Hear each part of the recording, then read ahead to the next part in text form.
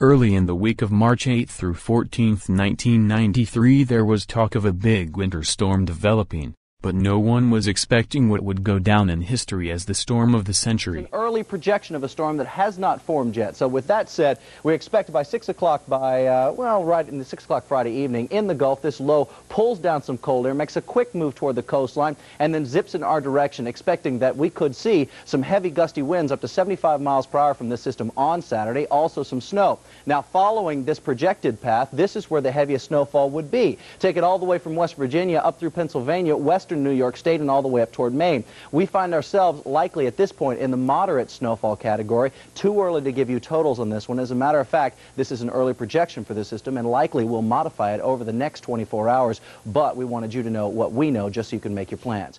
The so-called storm of the century would start out as some light to moderate rain over the south-central U.S. on the morning of Friday, March 12, 1993. Some mixing was occurring on the northern edge of the precipitation. Also some light to moderate snow was falling in the Texas Panhandle.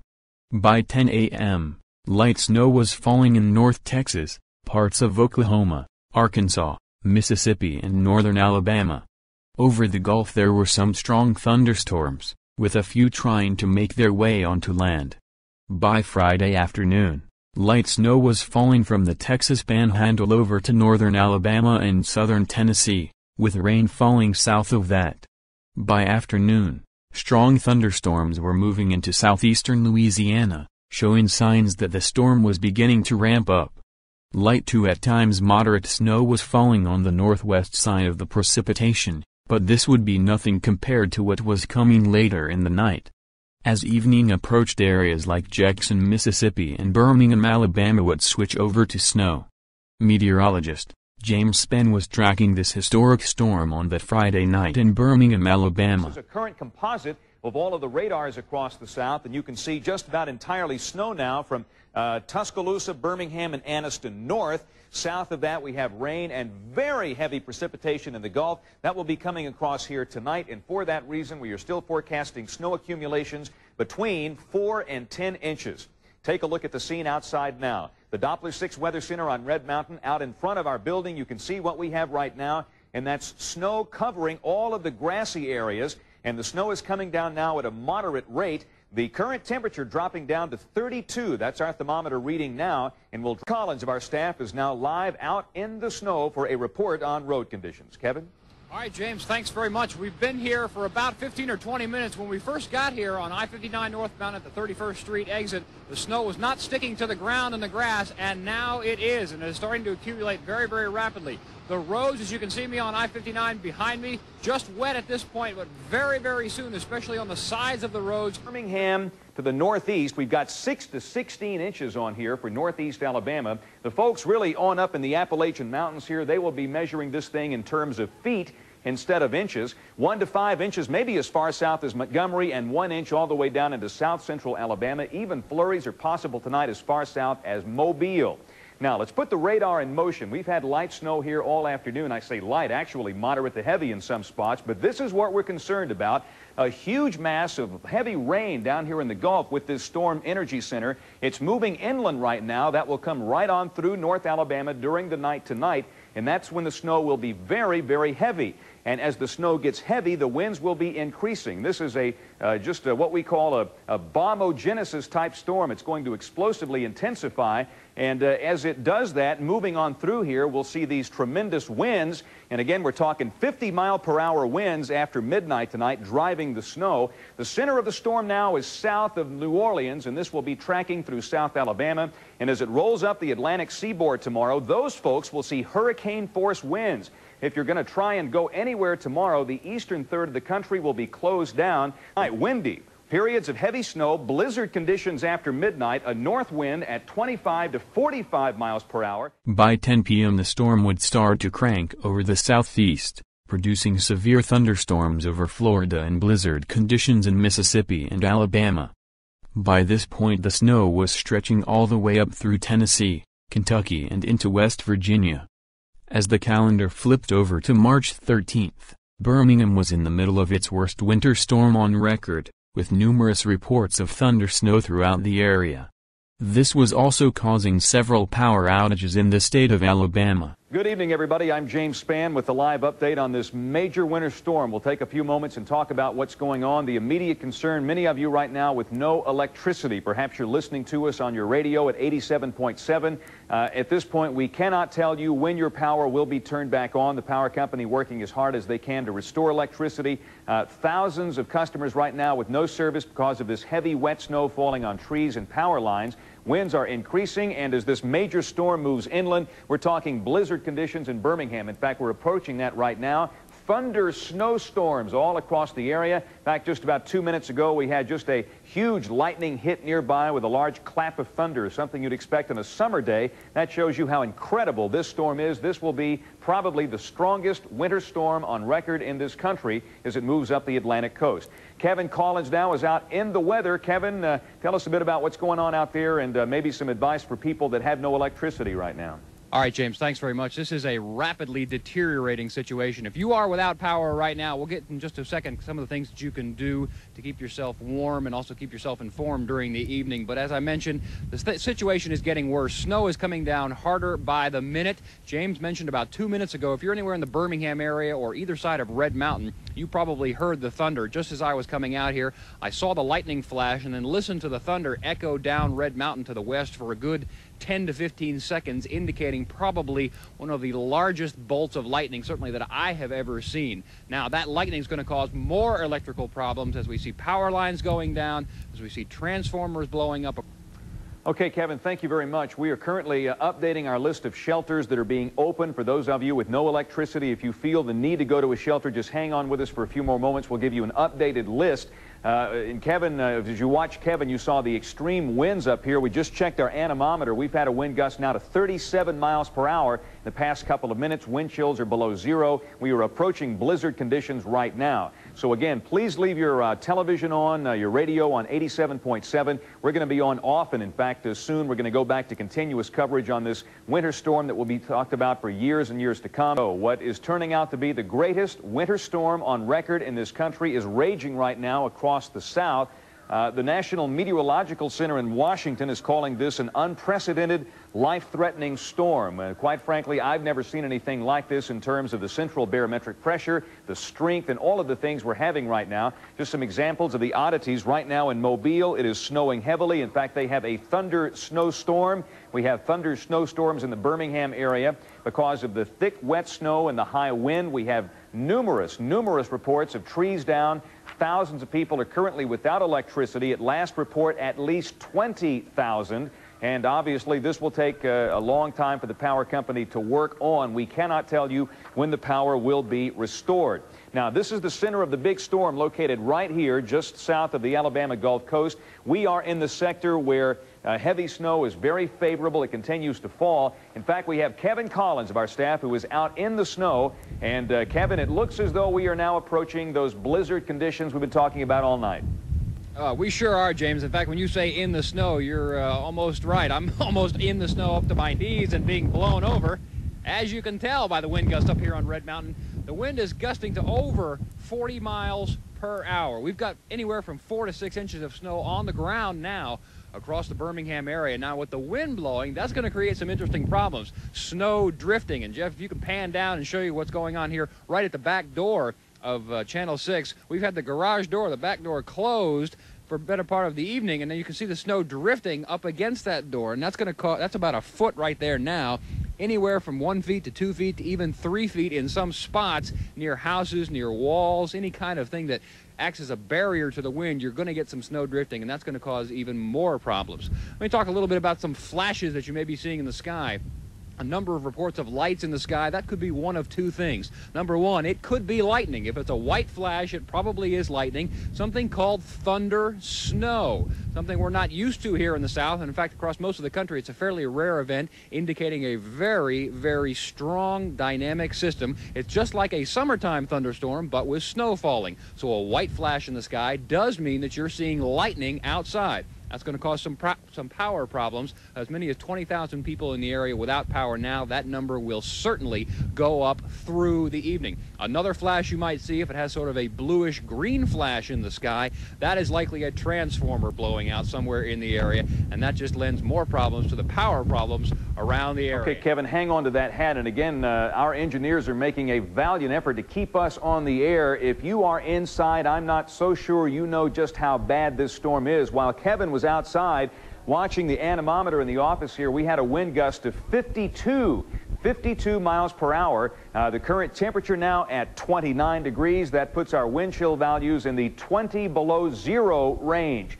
Uh, let's talk weather very quickly. Uh, I know that many of you are concerned right now. This is the, the brunt of the storm. We've been talking about this thing all week long. We started talking about it uh, um, late Monday and really emphasizing it Tuesday. This is the main part of the storm. Uh, between now and about 3 o'clock in the morning, northeast, a raging blizzard for the Atlantic coast.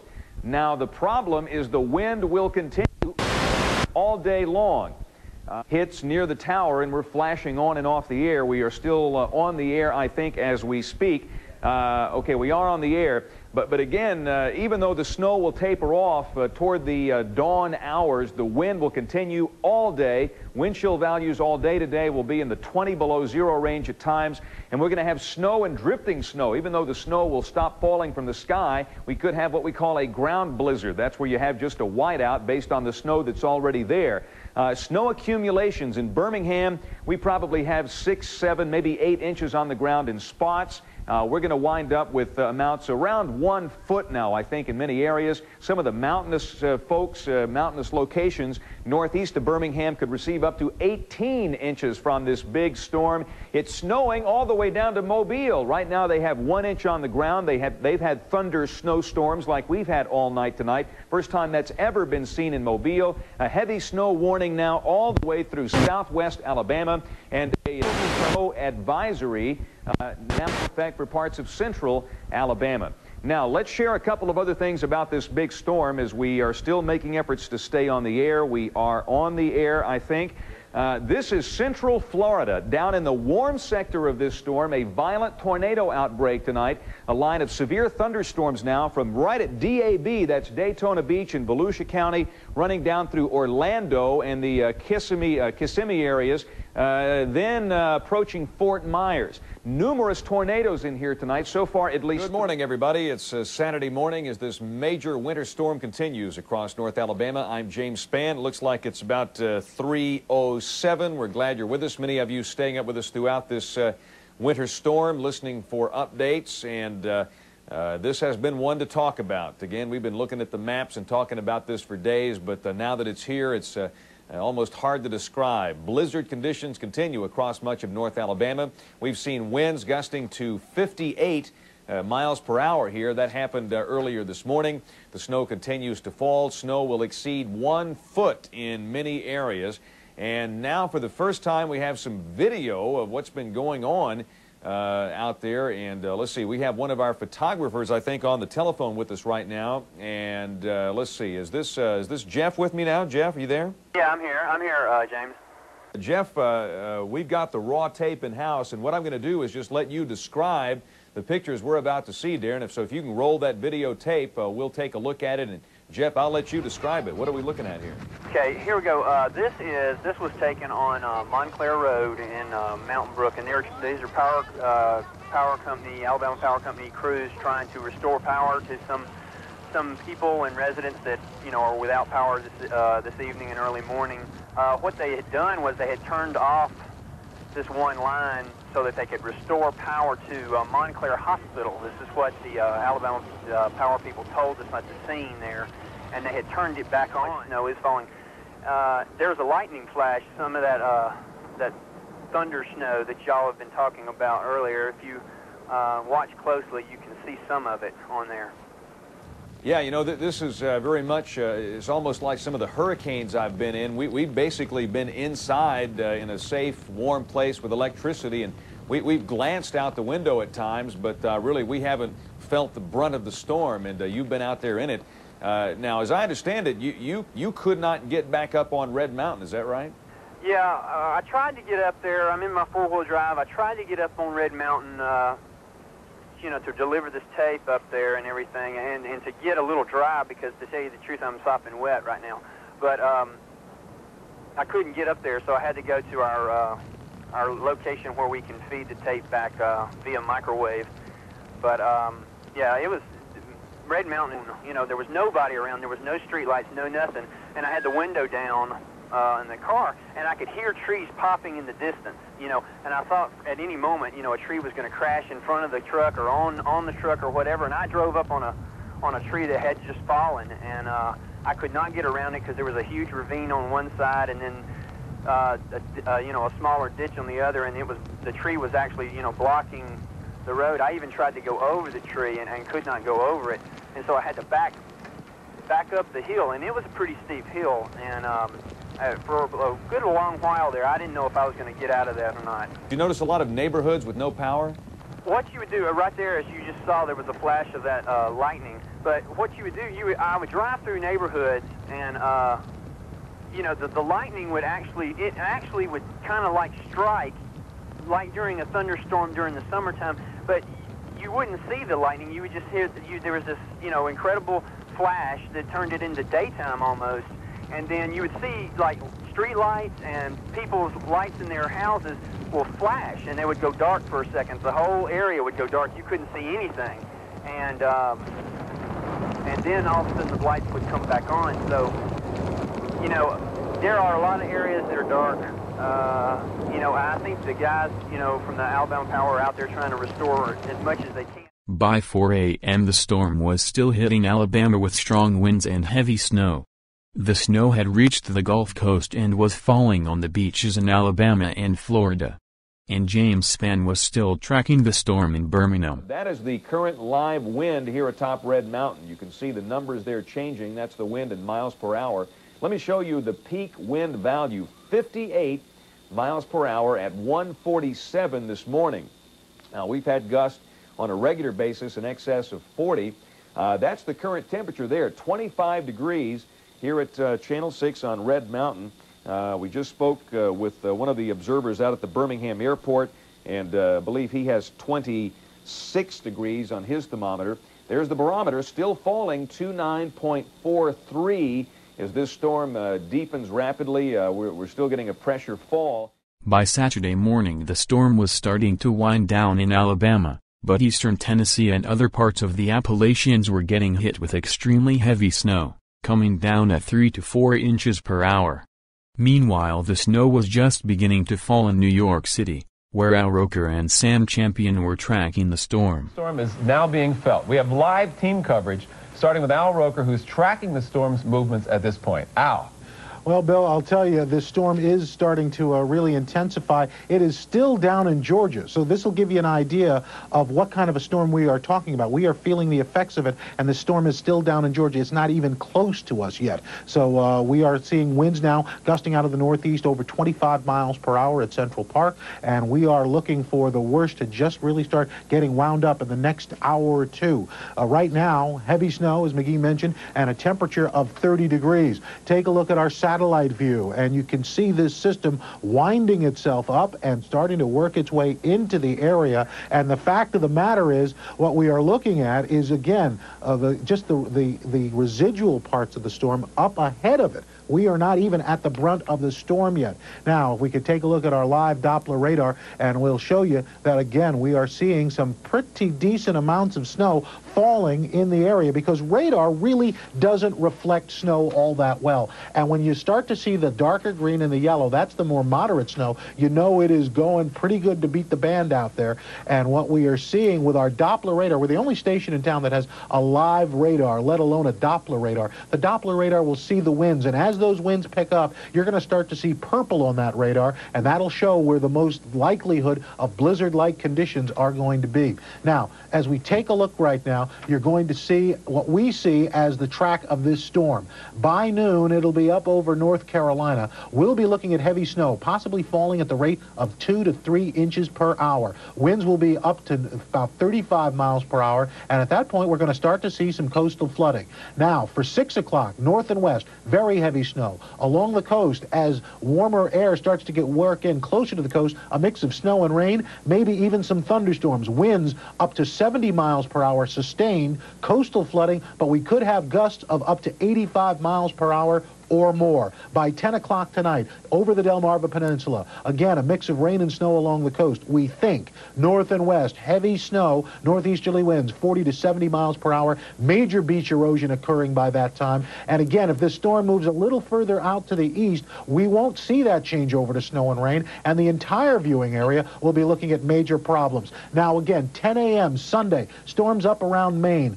Backside of the storm, winds are coming out of the northwest, much colder air. So we're not done yet. Snow squalls, additional accumulations, winds out of the northwest 30 to 60 miles per hour, temperatures falling through the 20s toward the teens by tomorrow night, wind chills 15 to 30 below.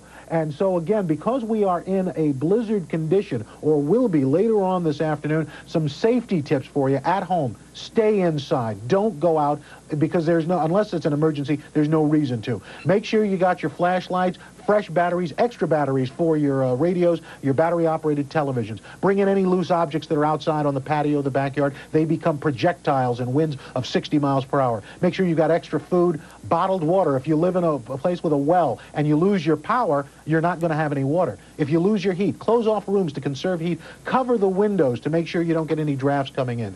If you have ventured out and you get stranded in a vehicle, stay inside your car. Run your motor at least uh, once every uh, uh, 10 minutes per hour to keep the heat going. But open a window a little to let in fresh air. Make sure your exhaust isn't blocked by snow to avoid carbon monoxide poisoning. And exercise. Move your arms, your legs, your fingers and toes. Keep that circulation going so you're not dealing with frostbite. So, blizzard warnings in effect. A blizzard means You've got a sustained wind of 35 miles per hour or more. Visibility due to the blowing and the falling snow under a quarter of a mile. What we're looking for by 7 o'clock tonight, before it changes over to rain and snow along the coast, 8 to 12 inches of snow. Coastal sections, again, 8 to 12 inches of snow. Eastern end of Long Island, eastern Connecticut, 6 to 10 inches. North and west, 10 to 15 inches, northwestern New Jersey, Rockland, Westchester, Putnam, Dutchess, Orange County. Central and southern New Jersey, 6 to 10 inches, and as you get further south, 4 to 6 inches. Now, with the strong winds, coastal flood warnings in effect, high tide, Seabright, New Jersey, about 1106, the Battery, 1229, Rye, New York, 315. Tides are going to be 4 to 6 feet above normal. And so with those strong winds, 60, 70 mile per hour, what we are looking at is major beach erosion and coastal flooding. So we've got a two-pronged attack here. We have lots of snow and we have lots of wind. And both of these are going to cause large amounts of damage. It's easy to do when you watch this storm this morning is say, okay, I see the snow. It's not that bad. It's blowing around a little bit. I can see out my window. I can get out the driveway. I can go to the store. I can head to the gun show. I can do, you know, whatever other stories we've heard this morning. But you need to know that we're just now getting into some stronger winds. And this afternoon, it's even going to get worse. We've had 60, 63 mile per hour wind gusts reported along our coastlines now. We're getting 50 mile per hour guns, uh, uh, wind gusts inland. Uh, we're also uh, experiencing 70 mile per hour wind gusts in Charleston, North Carolina around the system, up to 99 mile per hour wind gusts around the low itself, which is still off the South Carolina shoreline and moving north. So it, it, with all that said, just know that it will get worse this afternoon. Don't look out the window now and, and think that it's going to be okay because it's not going to be. You need to settle in right now. You've had time to make your plans. Settle in and stay with us. Let's show you the latest radar imagery. We'll show you exactly what's going on in our area, and it's pretty easy to see that we're covered up with moisture. Heavier bands of moisture, even in the darker shades of green to the southern areas of New Jersey, also around the Delmarva Peninsula, and believe it or not, you're picking up yellow, which is incredibly heavy snow, falling at the rate of two to three inches per hour, and with these winds, you know it's that horizontal snow that is blowing sideways that tends to stick on road signs even, not just on flat surfaces. That is all moving up in our direction. Now, in some areas are reporting some rain down along the very immediate coastline, but most of this is falling in the form of snow. We need to prepare for a big, heavy snow event, so we've upped those totals. Now we'll show you the system exactly where it is now as it sits off the uh, Georgia-South Carolina shoreline. You can see the area of low pressure that's spending some snow, certainly well inland. There are blizzard warnings out all over the eastern seaboard for today into tonight. Heavy thunderstorms in Florida. We again have 70 mile per hour gusts around Charleston. Now areas that are not used to seeing snow, Birmingham, Alabama, is getting snow, and not just a little snow, 13 inches of snow on the ground now in Birmingham. Chattanooga, Tennessee, another 13 inches of snow there. So as we watch this system move to the north, by Sunday morning it's already well, well, sitting right on top of us practically. We're amending the path now to say that it moves over Long Island. And we were saying that it crosses the city before. Now, why is this important? The farther east it goes, the more cold air is allowed to be pulled to the coastline. And that means the more snow we're likely to see and the less that's likely to change over. Speaking of changeover, here's what we think is probably going to happen to this. Snow, ice to rain in the darkest shaded blue areas, which means Long Island and the South Jersey shoreline, yes, it's likely there will be a period of time, though we think now it'll be short, just a few hours coming late this afternoon, that you will see a little ice and a little bit of rain. However, from the city, actually even uh, well, eh, you know, you get outside to Brooklyn and Queens and all those areas just outside of town. You work north to Rye, Westchester, also toward uh, Fairfield County in Connecticut, that you'll see snow changing over to ice. And that's going to be pretty rough in itself because on top of the snow, you're going to see a coating of ice. Ice is going to hit power lines. We're then going to have transformers blowing as well as these transformers get covered with ice for a period of a couple of hours. There's going to be a lot of power outages with this. And at some points, the ice will probably be worse for us than the snow is. Inland areas will see mostly snow, and you'll watch it accumulate and accumulate and pile up on the ground. We're talking about the possibility of maybe three feet of snow for the Poconos, Catskills, areas like that. I wouldn't call it out of the question for 12 to 36 inches of snow in northern suburbs. Now, in town, we've been kind of watching this, and last night we were saying 12 inches of snow in town. This morning we were wondering, well, are we right? Are we not right? Will it be a little less? Will the changeover knock some of those snowfall totals down? At this time, it appears that no, it won't. The changeover really won't be for that extended period of time. We're looking at maybe an hour to two hours of a changeover to rain later on this afternoon. So we pushed those snowfall totals back up to a foot and more for town. 6 to 12 inches likely out on the island where, in fact, when that changeover occurs, the rain and the ice will beat down some of the snow that's accumulated on the ground. By 10 a.m., West Virginia was getting absolutely destroyed with snow and it was still nowhere near done.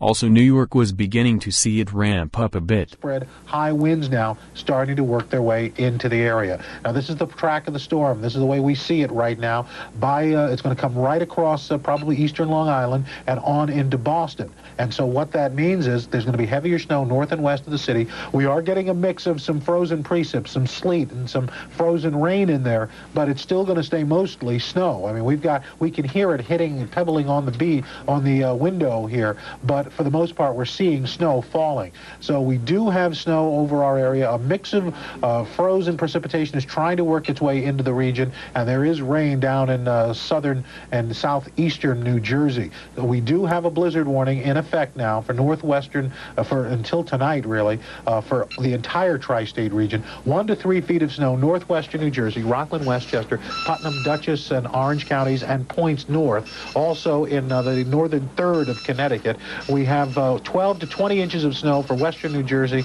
central New Jersey, uh, New York City's five boroughs, western Long Island, and most of the uh, Connecticut coastline. Then 10 to 15 inches the eastern half of Long Island, and also for uh, south central New Jersey, 6 to 10 inches of snow in uh, in southern New Jersey. And again, uh, we're looking at high tides for tomorrow morning. Coastal flood warnings are in effect.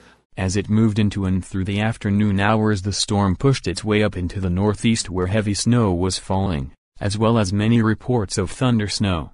Even by 7 p.m. on Saturday the snow was still falling down in Georgia and stretched all the way up to Maine and into Canada. Areas on the immediate coast were seeing some rainfall though, as the warm air that the system was pulling off the Atlantic, was increasing temperatures and changing the snow to rain. As the night continued the Appalachian chain would continue to see snowfall, all the way down to northern Georgia. Areas like Boston would switch over to rain, but interior sections of the northeast would remain all snow. As the sun came up on Sunday morning, just light to moderate snow was falling in the northeast, as the storm was nearing its end in the United States. I now want to get into snowfall totals for this storm. First I will start with the southern areas. And just look at how heavy the amounts were. Areas in the Appalachians picked up over 3 feet of snow. And most areas surrounding them had at least over 2 feet. Parts of North Georgia and northeastern Alabama had over 18 inches on the ground. Birmingham where we watched James Spann throughout Friday night had over 12 inches. Atlanta was around 4 to 5 inches. Even Mobile, Gulf Shores and the Florida Panhandle had anywhere from 1 to 3 inches of snow. Now let's look at the Northeast. Areas like Washington, D.C., Philadelphia, and New York City received anywhere from 12 to 18 inches. But the interior areas where it remained all snow were hit the worst, with widespread totals of 2 feet or more from western Virginia up to Vermont. One of those areas was Albany, New York where they piled up 27 inches of powder. Syracuse and Burlington had over 3 feet of snow with Syracuse picking up exactly 43 inches of snow. Some areas in the Appalachians had as much as 5 feet of snow. The top wind gust was in Mount Washington, New Hampshire at 144 miles per hour. Boston even gusted as high as 81. Some areas in the Appalachians gusted over 100 miles per hour as well, taking the word blizzard to a whole different level and the sea level pressure reached as low as 961 millibars in White Plains, New York. Thanks for watching and if you enjoyed leave a like and subscribe and leave a comment if you have another weather event you would like me to make a video on.